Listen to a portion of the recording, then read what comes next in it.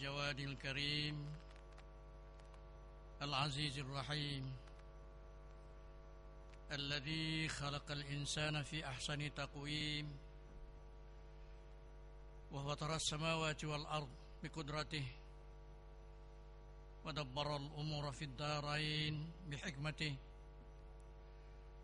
ولكن الله يضل من يشاء ويهدي من يشاء. وهو أعلم بالمهتدين. صلاة وسلاما على سيدنا محمد وعلى آله الأبرار الطيبين الطاهرين. سلم وعزم إلى يوم الدين. اللهم رحمتك أرجو فلا تكلني إلى نفسي طرفة عين. وأصلح لي شأني كله. لا إله إلا أنت. اللهم افتح علينا حكمتك وانشر علينا من خزائن رحمتك يا أرحم الراحمين رب اشرح لي صدري ويسر لي أمري واحلل عقدة من لساني يفقهوا قولي أما بعد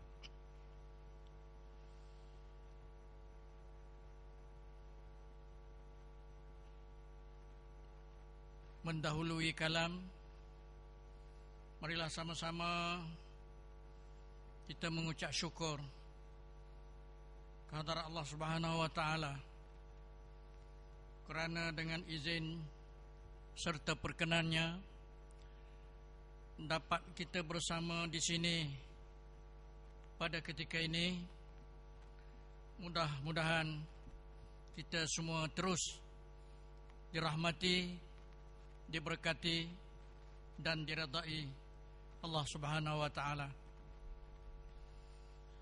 Muslimin muslimat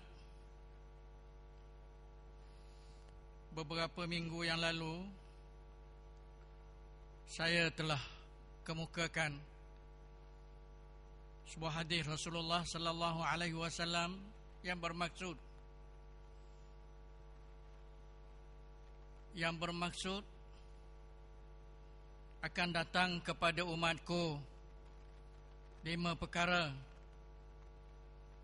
di mana mereka sangat sayang sangat kasih kepada lima perkara. Tetapi dalam masa yang sama mereka lupa mereka melupai lima perkara yang lain. Saya minta maaf. Saya rasa Ulangan ini tidak mengecewakan Para jemaah Kerana kita Adalah dalam majlis. Kita adalah peserta Pendengar Bukan yang menadah Yang mengaji secara khusus. Samalah juga Saya akan ulang sekali lagi Apa yang saya telah sebut dalam tazkirah Jumaat tadi di mana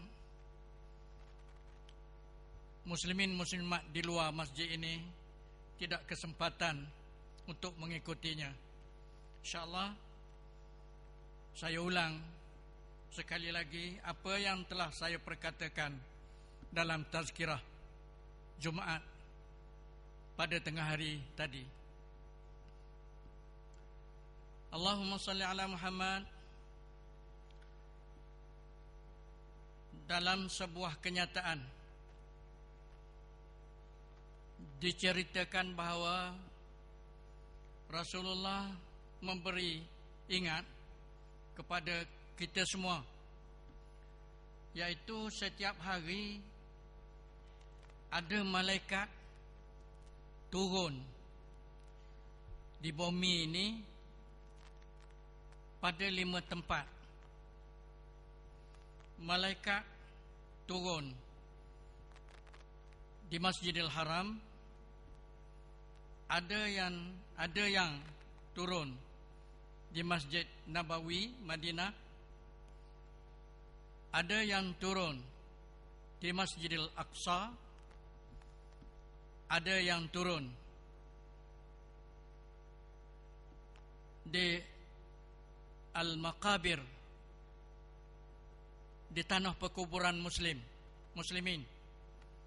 Dan ada yang turun di aswak dia kata di sini di paso-paso. Pada kali ini saya suka menyebut saya ambil di mana malaikat yang turun di tanah perkuburan muslimin tanah perkuburan Islam mereka menyeru dengan katanya ya ya ahlal maqabir. Wahai ahli kubur orang-orang yang telah meninggal kita selama ini sebelum ini. Ya ahlal maqabir wahai ahli kubur bimadza taghtabitun wa ala madza tan tandimun. Mereka berkata kira-kira lebih kurang ya ahlal kubur kamu nak apa? Kamu ingin apa sekarang? Dan apa pula yang kamu kesali yang kamu sedang kesali sekarang? Pada saya soalan ini yang sedang dihadapi oleh ahli kubur yaitu ahli kubur arwah roh yang sedang berada di dalam kubur sedang mengalami dua perkara ini. Ada benda yang dia nak dan ada benda yang dia sesal. Untuk peringatan soalan ini sebenarnya bukan lagi disoal untuk ahli kubur tetapi memberi peringatan yang akan mengikuti kita-kita yang akan mengikuti ke kubur perlu diingat saya ulang sekali lagi wahai ahli kubur apa yang sedang kamu tunggu dan apa yang sedang kamu kesali sekarang? Payakuluna. Ada di antara arwah roh yang sedang berada di dalam kubur itu menjawab nadimna ala ma fata min a'marina wa naghtabitu bi ahli al-jama'at liqira'atihim kalam Allah wa tudzakiruhum bil ilm wa salawatuhum 'ala an-nabi sallallahu alaihi wasallam dhunubihim wa nahnu la naqdiru 'ala shay'in min dhalika apabila ditanya kamu nak apa dan apa yang sedang kamu kesali? Untuk perhatian semua jemaah elok sangat kita ambil perhatian. Jawab antara ahli kubur itu kami sedang menyesali. Kami sedang menyesali ala ma fatamin a'marina atas apa yang telah berlalu dari umur semasa hidup kami. Barangkali kita boleh mengandaikan bahawa mereka telah menyesal. Mereka telah banyak merugikan masa sepanjang hayat mereka dengan melakukan perkara-perkara yang tidak menol boleh menolong mereka di dalam alam barzakh. Wa naqtabitu oh tadi tadi soalan tadi madza taqtabitun apa yang sedang kamu nak yang kamu ingin sekarang wa naqtabitu mereka menjawab kami sedang menginginkan nak apa yang dilakukan oleh ramai orang. Ingat para jemaah ramai orang. Liqiraatihim kalam Allah ramai orang yang sedang membaca Quran telah membaca Quran. Kami menginginkan teringin teringin betapa bertuahnya orang yang membaca Al-Quran. Barangkali dan memang diterangkan di di keterangan lain orang yang mendapat orang yang banyak membaca Quran akan mendapat ganjaran. Dan orang yang sedang berada di alam barzakh akan diperlihatkan oleh Allah Subhanahu wa taala. Ganjaran imbasan ganjaran-ganjaran sebenarnya. Melihat kepada ganjaran itulah mereka kesal dan teringin teringin betapa bertuahnya orang yang banyak membaca Quran. Wa tudzakiruhum bil ilmi banyak pula bermuzakarah banyak pula berbincang tentang ilmu-ilmu khususnya ilmu agama. Ilmu yang boleh membawa kita kepada bahagia dunia dan akhirat. Dan betapa bertuahnya mereka semasa hidup dulu mereka berselawat ke atas baginda Rasulullah sallallahu alaihi wasallam. Saya tadi telah menyeru para jamaah ya sekurang-kurangnya apabila muazzin Bilal membaca ayat Quran ya ayyuhalladzina amanu sallu alaihi wasallimu taslima para jemaah yang bersama saya pada kali ini sama ada di dalam atau di luar sana sudah tentu acap kali benar mendengar ayat ini dibaca oleh para Bilal. Ayat ini memberi arti bahawa wahai orang yang beriman, selawatlah kamu ke atas baginda Rasulullah sallallahu alaihi wasallam. Saya tadi telah menyarankan kepada jamaah yang hadir supaya mengambil kesempatan atas peringatan dari Bilal itu atas perintah yang diperintahkan oleh Allah supaya kita banyak berselawat. Ya, jadi sepatutnya semoleknya dan betapa endahnya tak kala Bilal mengucap membaca ya ayyuhalladzina amanu sallu alaihi wasallimu taslima kita turut berselawat ke atas baginda Rasulullah sallallahu alaihi wasallam. Seterusnya ahli makabir yakni uh, arwah yang sedang berada dalam alam barzakh itu mengingin-inginkan ya teringin melihat melihat gambaran gambaran balasan daripada Allah Subhanahu wa taala bagaimana besarnya bagaimana besarnya ganjaran yang akan diberi oleh Allah Ta'ala terhadap seorang yang membanyak istighfar. Ya, istighfar ni pada saya ialah pendahuluan bagi seseorang yang ingin bertaubat dan diberi ganjaran pahala. Ada, ada tiga di sini membaca Quran, bermuzakarah, berbincang tentang ilmu-ilmu keagamaan berselawat kepada baginda Rasulullah dan beristighfar di atas dosa-dosa kesalahan mereka. Itulah yang diinginkan oleh oleh ahli kubur. Selain daripada mereka menyesal, ia mengidap sesalan yang amat sangat di atas kelalaian dan kecuaian mereka semasa hidup dengan membuang masa begitu saja. Wallahu alam diteruskan wa nahnu la naqdiru ala syai'in min zalika. Dia kata orang-orang yang berkesempatan apa membaca Quran bermuzakarah tentang ilmu berselawat beristighfar bertuahlah orang ini. Malangnya la naqdiru ala wa nahnu la naqdiru ala syai'in min zalika.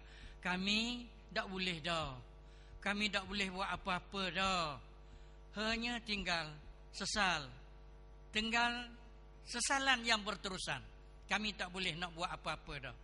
Saya mengambil kesempatan daripada kenyataan ini untuk diri saya supaya mudah-mudahan Allah selalu mengingatkan kita untuk membolehkan kita meluangkan masa sekurang-kurangnya kita duduk dalam keadaan begini secara berterusan setiap hari insya-Allah ada sesuatu yang akan kita perolehi walaupun kecil namanya usaha kita ini.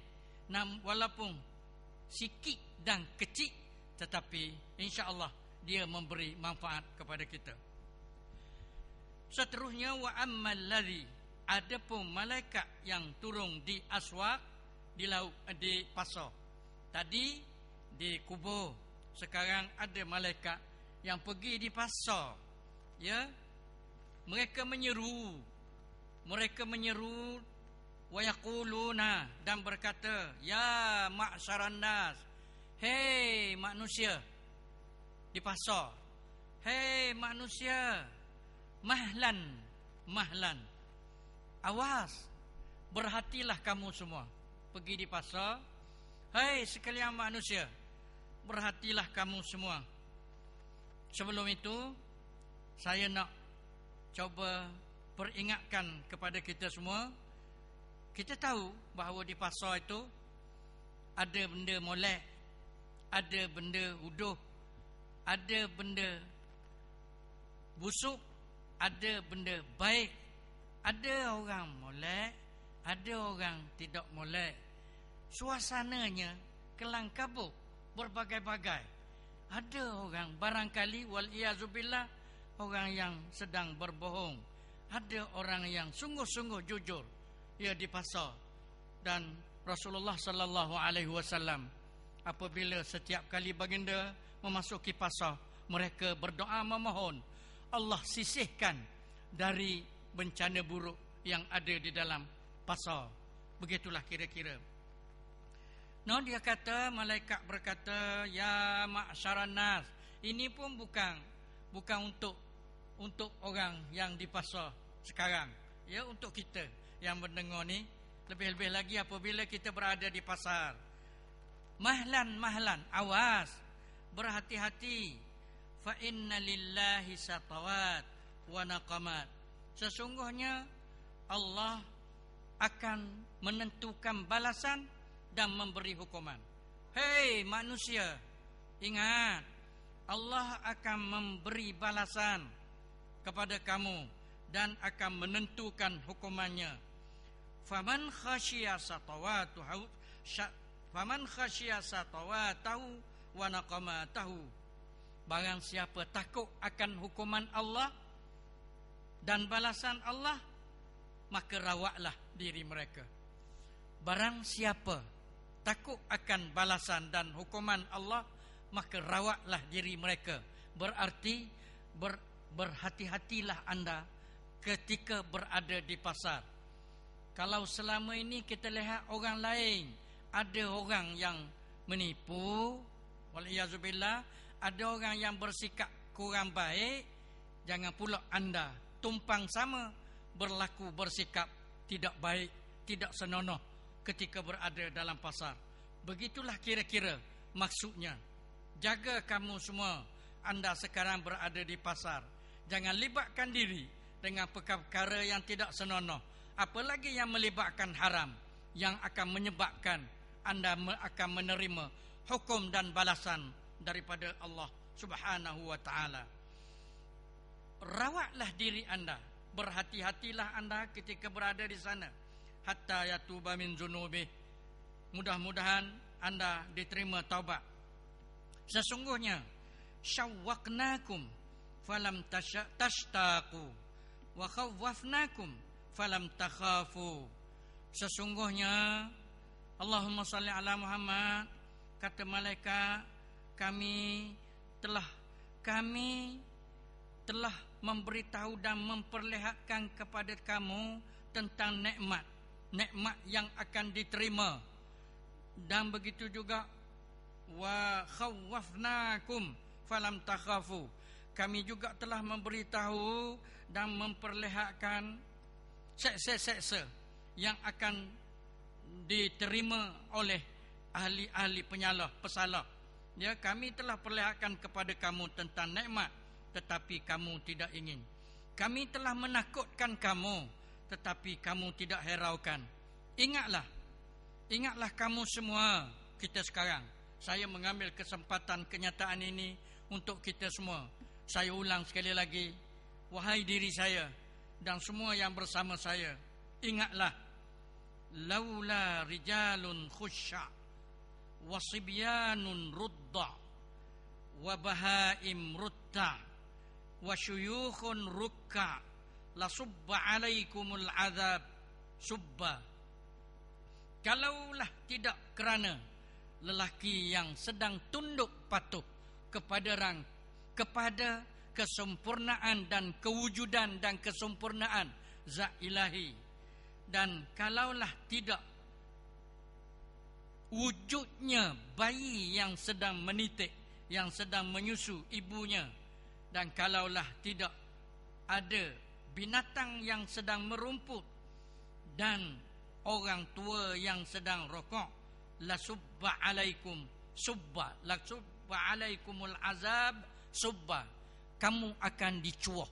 Kamu akan dicurahkan dengan seksa secara sekaligus. Untuk perhatian di sini ketahuilah ada lima ada beberapa kumpulan. Ya orang tua yang sedang tunduk kepada kebesaran dan kewujudan serta kesempurnaan ilahi. Orang bayi yang sedang menyusu, orang yang sedang tunduk hatinya kepada Allah Subhanahu wa taala. Ya, dan binatang yang sedang merumput la subba alaikumul azaba subba nanti kamu akan dituangkan seksa secara sekaligus. Bermaksud simpatilah. Hormatilah. Simpati dan hormatilah. Berilah penghormatan kepada kumpulan ini. Orang tua, bayi, binatang dan syuyukh ni orang yang telah lanjut umurnya yang sedang taat kepada Allah Subhanahu wa taala. Saya juga ingin mengambil kesempatan la subba la subba kalau tidak kerana ini orang tua bayi binatang dan orang yang sedang tunduk dengan kebesaran Allah Ta'ala Kamu akan dituang dengan azab secara sekaligus.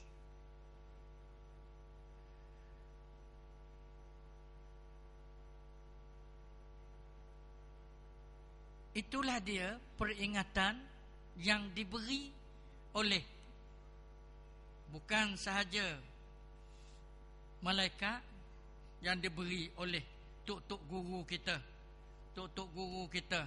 Lebih-lebih lagi tok guru yang saya yang kita semua sedang memetik yang sedang cari ilmu yang dapatkan ilmu dari mereka. Ingatlah ya bahawa mereka telah mengorbankan ilmu mereka untuk kebahagiaan kita. Seterusnya untuk perhatian semua pada malam ini saya tidak nak baca membaca banyak hadis tidak pula nak baca banyak ayat-ayat Quran saya sangat berminat kepada pandangan para ulama orang-orang alim. Yang kedudukannya juga yang kedudukannya sangat mulia sangat tinggi di sisi Allah. Sehingga pernah Rasulullah sallallahu alaihi wasallam bersabda ya Allahumma ahyina bihayatil ulama Ya Allah ya Tuhanku Hiduplah kami Sebagaimana hidupnya para ulama. Wa amitna bimautis syuhada. Matilah kami Sebagaimana, sebagaimana matinya para syuhada. Wahsyurna fi zumratil awliya. Himpunlah kami Dalam perhimpunan para wali. Dan wa adkhinnal jannata ma'al anbiya. Masukkanlah aku ke dalam syurga bersama-sama anbiya. Di sana ada kalimah ulama. Ya, jadi sebab itu saya demi menyanjungi ulama tok guru kita ni mereka ada pesan dengan dengan menyebut sebuah hadis dalam buku dan bab yang saya baca dia kata apa an-nazru fi wajhil alim ibadatun wan nazru ila al-ka'bah ibadatun. Wan nazaru ila al-mashah ibadatun. Lihat sahaja kepada seorang alim menjadi ibadat. Lihat sahaja kepada Kaabah pun menjadi ibadat dan melihat kepada mashah. Itulah itu juga ibadat. Nah, ada sekarang di sini satu satu tawaran istimewa melihat kepada orang alim dengan pandangan sayang dan hormat kepada ilmunya dan melihat kepada Ka'batullah. Secara jelas di sini orang-orang yang berkesempatan ke Masjidil Haram ramai dikatakan bahawa bila melihat saja Kaabah terutama di pusingan pertama di kali pertama mereka akan mengalir air mata. Entah mengapa dan kenapa wallah kita tidak tahu. Dan melihat kepada Quran apa lagi membacanya? Wallahu alam. Ada tiga di sini. Melihat kepada orang alim melihat kepada Kaabah melihat kepada uh, mashaf iaitu Quran adalah menjadi ibadat. Saya cuba sentuh dan sebut pada kali ini benda-benda perkara-perkara kecil yang mudah kita buat. Ya, selalu-selalulah renung kepada tiga perkara ni. Kalau ya pun Quran tu kita berat sangat nak baca, eloklah kita buka sekali-sekala melihat sekurang-kurangnya tertib surah bermula daripada Fatihah Baqarah dan seterusnya dan mudah-mudahan dengan izin Allah teringinlah kita nak baca satu dua ayat yang terdapat ketika itu. Wallahu alam.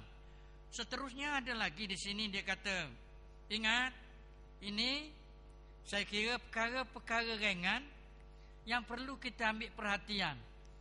Sebagai orang awam jangan kecil hati saya saya senarai. Saya kategorikan kita ni orang awam. Orang ramah orang biasa doklah kata berkedudukan begitu begini orang ramah orang biasa je. Jadi kalau kita dapat kalau kita dapat layakkan diri kita didik diri kita supaya apa yang disebut oleh para ulama ni menjadi sentuhan dan renungan dalam dalam saat-saat kehidupan kita ni besar artinya. Dikatakan lagi ada tiga ada tiga ada tiga waktu yang dibenci oleh Allah kita tidur. Dibenci oleh Allah kita tidur. Dan ada tiga perkara ketawa yang dibenci oleh Allah Ta'ala. Senang je ni. Kadang-kadang tidur dan ketawanya menjadi zikir kita. Menjadi wirid kita. Jadi jadi tiap-tiap hari dah. Jadi sedap gitu tidur dan ketawa. Dalam tidur dan ketawa tu ada ketawa tiga tempat sangat tidak disukai oleh Allah. Begitu juga tidur tiga waktu yang tidak disukai oleh Allah. Cuba tengok semua jamaah kok ada kena waktu-waktu ni. Kita tiap-tiap hari tiap-tiap waktu ni kita tidur. Mudah-mudahan esok kita latih dia kita tidak tidur. Atau kita ni banyak sangat suka terutama di tiga-tiga tempat ni. Yang pertama tidur dalam majlis zikir. Minta maaf sekarang pun majlis zikir. Ada orang sekarang dia dalam majlis zikir. Pagi esok dalam majlis zikir lagi majlis ilmu. Sebab majlis ilmu tu pada saya dan banyak saya temui dalam kenyataan buku-buku buku-buku bahawa majlis begini pun dinamakan majlis zikir orang yang tidur ketika ketika dalam majlis zikir Ramai juga saya tengok orang tidur. Tidur tu pula sok moh. Pagi esok ada majlis lagi, kuliah subuh, zikir lagi, hadir lagi, tapi tidur lagi. Malang lebih malang daripada itu orang yang tidur setiap kali khutbah disampaikan pada hari Jumaat. Semua jemaah yang bersama saya, semua jemaah yang bersama saya berhati-hatilah barang siapa membiarkan diri dia dengan tabiat dengan satu-satu tabiat tabiat itu akan menjadi akan jadi pada diri dia ya tabiat tu dia akan rasa seronok sedap betul molek layak sekalipun jelas salahnya satu kenyataan dari para ulama seorang ulama barang siapa membiarkan diri dia dengan satu tabiat saya nak fokuskan kepada tidur dia akan tidur semua lah. Dan orang yang tidur tu orang yang sama selalunya. Kalau hari Jumaat, hari Jumaat tadi dia tidur, hari Jumaat depan pun biasanya orang tu juga tidur. Dan memang kumpulan ini dia sengaja dah cari tempat selesa. Tempat selesa duduk cari di di tepi-tepi tiang, tepi-tepi dinding untuk selesa dia tidur barangkali. Wallahu alam. Harap sisihlah kita semua yang hadir bersama saya pada ketika ini. Kemudian lagi tidur qabla al-isya'il akhir sebelum sembahyang isya. Barangkali jarang ni orang tidur sebelum sembahyang isya. Guling-guling, baring-baring sekali-sekala ada barangkali. Lalu panjanglah generanya. Koklah. Ha, jadi ni saya rasa tidaklah tu sangat. Dan tidur atau saya bubuh mengantuk di waktu sembahyang bukan tidur tapi mengantuk di waktu semayang pun cuba didik sama-sama kita didik diri kita Allahumma salli ala Muhammad ada tiga suka ketawa yang dilarang yang dibenci oleh Allah Subhanahu wa taala iaitu suka atau ketawa khalfa janazatin ketika mengiringi jenazah. Saya tidak kelihatan orang suka orang cerita ada. Masing-masing bercerita ketika mengiringi jenazah tu ada jugalah cerita. Cerita entah apa yang diceritakan wallahu alam tapi sebenarnya tidak bagus cerita-cerita cakap-cakap biasa tu. Tumpulah kepada jenazah tu. Yang kita juga akan ikut mereka pada bila-bila masa saja. Ketika mengiringi jenazah ketika dalam majlis ilmu suka ni suka ni. Jadi dua ni tidur pun tak boleh dalam majlis ilmu ni tidak bagus. Suka ketawa pun tidak boleh sebab ada sekarang majlis ilmu ni ketawa sangat. Sebab tok guru yang berceramah barangkali sikapnya menarik perhatian atau mengetawakan orang ramai maka kita pun orang, orang kata khising sokmo gigi. Suka sokmo gelak ketawa semua pun tidak banyak barakahnya. Tolong ambil kita sama-sama ambil perhatian. Suka banyak sangat pun dalam majlis ilmu. Dia lari barakah tu. Barakah yang nak turun kepada kita dalam majlis tu akan lari.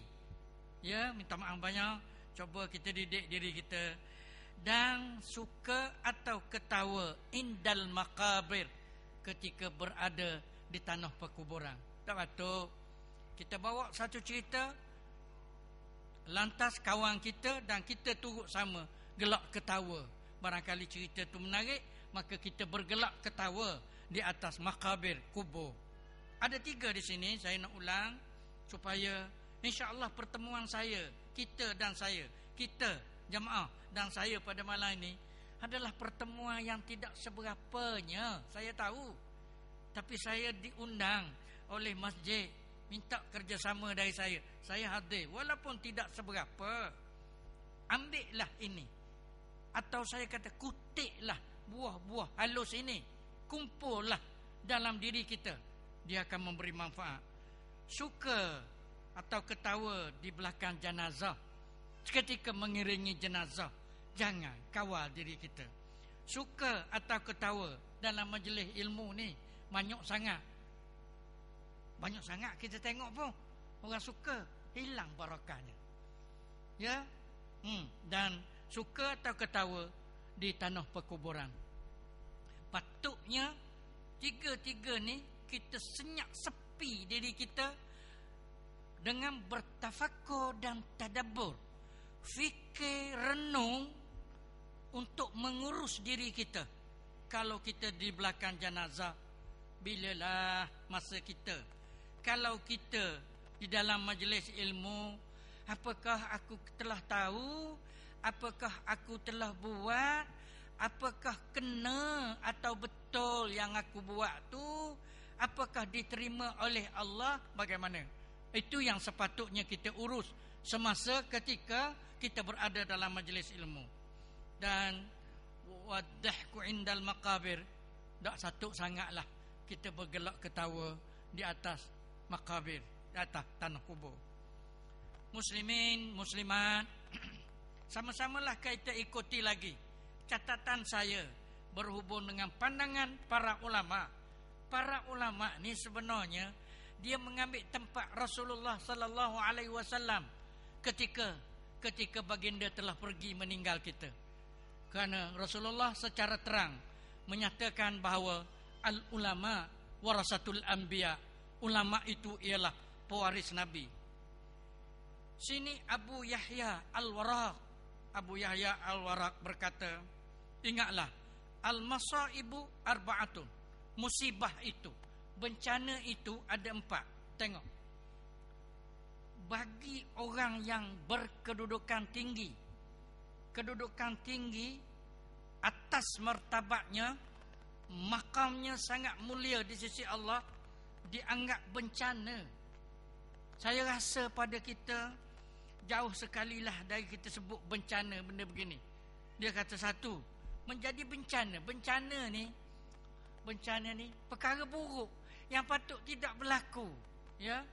Sumpama kalau kita bencana banjir terbakar berlaku kebakaran dan sebagainya dan sebagainya. Tapi dia kata pada dia bencana fautu takbiratul ula luputnya takbir ratul ihram bagi makmum yang sembahyang berjamaah.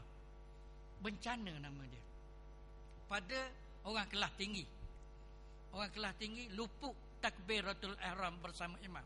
Luput takbiratul ihram ni makna terlepas mendapat fadilat takbiratul ihram ketika kita sembahyang berjamaah.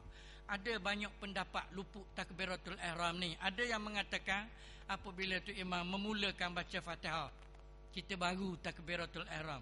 Luputlah fadilat takbiratul ihram. Ini bukan bicara tentang sah tak sah, mayangnya sah, tapi luput. Dia ada satu fadilat situ, satu kelebihan. Orang yang sembahyang berjamaah yang sempurna tu mestilah dapat fadilat takbiratul ihram bersama imam. Jadi ada kaul yang mengatakan apabila imam telah mula membaca Fatihah maka luputlah fadilat takbiratul ihram. Ada pula kaul yang mengatakan kala imam takbiratul ihram dia sudah berada di sini. Dia sudah berada dalam masjid ni atau dia sudah berada dalam sah tetapi dia masih berurusan dengan urusan lain. Sama ada duk kuih-kuih ataupun duk kaih-kaih ataupun duk esok-esok ke sana kemari maka juga ada kaum mengatakan luputlah padilah takbiratul ihram.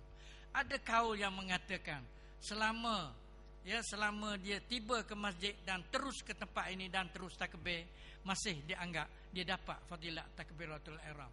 Secara ringkas saya katakan apabila imam takbir cuba ada perasaan dalam diri kita untuk segerakan kita bertakbiratul ihram. Cuba jangan perlengah-lengahkan semoga takbiratul ihram kita itu mendapat fadilat bersama takbiratul ihram imam nampaknya hal ini kurang berlaku kepada kita kerana kita untuk menguruskan saf-saf walaupun imam setiap waktu setiap hari memberi ingat betulkan saf rapatkan saf penuhkan saf di depan dan sebagainya. Itulah yang diucap oleh imam sebelum mereka takbiratul ihram tetapi masih berlaku. Kita ambil tempat kita cuba nak takbiratul ihram terpaksa esok bergerak pula kerana di kanan kita masih kosong. Cuba nak takbiratul ihram. Ya, tapi terpaksa bergerak ke kanan lagi kerana masih tidak selesai urusan membetul dan merapatkan sah lambat diselesaikan kerana masing-masing tidak barangkali tidak peka sangat tentang urusan itu. Wallahu alam terlupa takbiratul ihram dan Allahumma salli ala lupa pula majlis zikir. Ada orang saya selalu tadi pun saya bercakap marilah sama-sama kita bersyukur kerana dengan izin Allah kita dapat berada di sini. Ada orang ada orang kita kena tengok sama ada anak-anak beranak kita, anak saudara kita ya yang tidak boleh, yang tidak mampu menduduki begini terus menerus secara terus menerus. Saya diberi isyarat untuk memberhentikan segera kuliah ini kerana masa tidak mengizinkan. Pun begitu, saya terus sikit lagi walaupun tidak sebab saya sedang dirakam tapi untuk menamatkan majlis ini saya nak satu pesan Rasulullah untuk menutup majlis ini. Rasulullah bersabda, barang siapa menziarahi orang alim, nama zarani, seolah-olah dia ziarah aku. Ingat, barang siapa ziarah orang alim, seolah-olah dia ziarah aku. Rajin tak kita secara sengaja. Nak pergi sekali eh. Rumah tok-tok guru kita tu. Nak pergi jalan sekali eh. Ziarah tanpa ada urusan. Ada tak kita. Satu barang siapa ziarah orang alim insyaallah dia menziarah aku. Barang siapa safah aliman barang siapa bermusafahah dia panggil iaitu berjabat tangan bersama dengan orang alim insyaallah dia berjabat tangan dengan aku. Wa man jalasa aliman. Barang siapa duduk bersama orang alim insyaallah dia duduk dalam majlisku. Dan barang siapa duduk dalam majlisku di dunia ajlasahullahu ma'i yaumal qiyamah. Barang siapa duduk bersamaku di dunia dia akan menduduk dia akan mendudukkan oleh Allah bersamaku dalam syurga. Aku qauli hadza وأستغفر الله العظيم. والسلام عليكم ورحمة الله وبركاته.